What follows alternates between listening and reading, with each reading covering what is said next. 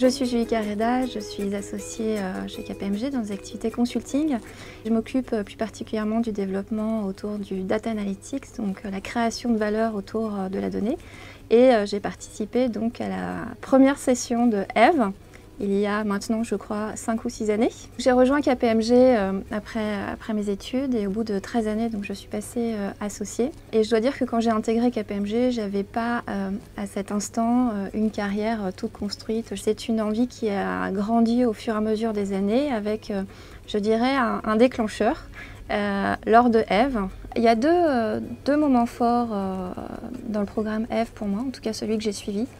Euh, le premier déjà, c'est euh, d'avoir une prise de conscience qu'il faut accepter ses choix et ses actions et que euh, l'environnement dans lequel on est, la situation dans laquelle on est, est forcément associé à une organisation, une hiérarchie, un environnement sociétal, mais aussi à des prises de décisions qu'on a, qu'on a réalisées de son propre chef. Et une fois qu'on a réalisé ça, on voit qu'il y a énormément d'actions et de leviers dont on est seul maître pour pouvoir faire évoluer euh, sa carrière ou faire évoluer l'environnement dans lequel on est.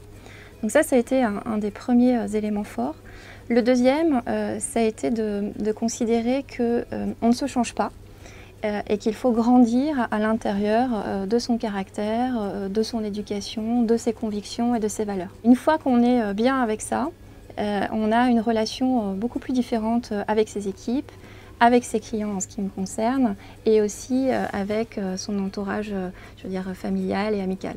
Par exemple, après la naissance de mon fils, j'ai eu le sentiment que ma carrière stagnait et que j'avais pas forcément beaucoup d'évolution. Et en faisant ce bilan après Eve, j'ai réalisé que tout simplement, j'avais pas exprimé euh, clairement ce que je voulais faire euh, de ma carrière, quels étaient les sujets qui m'animaient, comment est-ce que je voulais piloter mon équipe.